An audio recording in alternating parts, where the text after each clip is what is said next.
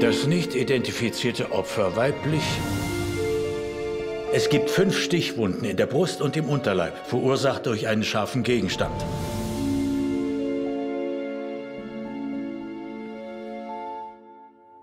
Kommissar Maigret, Kriminalkommissar vom Quai des Offertes. Jemand wollte das namenlose Mädchen verschwinden lassen. Sie hat jedoch unweigerlich Spuren hinterlassen. Wie bringen Sie denn Verdächtige zum Reden? Mit gar nichts. Ich höre Ihnen nur zu. Meine Aufgabe ist es, die Wahrheit zu finden. Warum interessiert sich jemand wie Sie für mein Leben? Es hilft mir, Mädchen wie dich zu verstehen. Ihr Name war Luis. Wieso haben Sie gesagt, Ihr Name war? Da hielt plötzlich ein Auto vor dem Platz. Konzentriert euch auf die Taxifahrer, die in besagter Nacht unterwegs waren. Sie machen das wegen des toten Mädchens, nicht wahr? Sei wachsam, aber halt eine gewisse Distanz. Wenn man sein Kind verliert, verliert man alles auf der Welt. Es ist nichts mehr da, bloß noch Nacht.